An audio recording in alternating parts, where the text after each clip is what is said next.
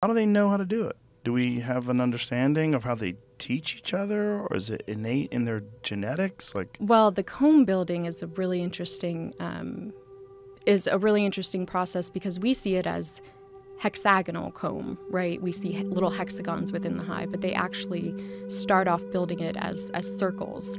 So the weight of the hive will will bring it down, and the way that they build the comb is actually up at an angle so that the honey doesn't seep out. It's remarkable what they have figured out how to do as a species, how to engineer this perfect building and do it out of beeswax, out of something that their body produces naturally.